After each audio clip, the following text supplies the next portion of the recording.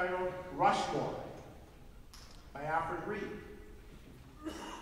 This composition is meant to symbolize the inner strength and calm majesty represented by these four great American faces carved in stone, as you see on your, your uh, screen there. George Washington, Thomas Jefferson, Theodore Roosevelt, and Abraham Lincoln are guardians of our tradition of faith and the freedom of man.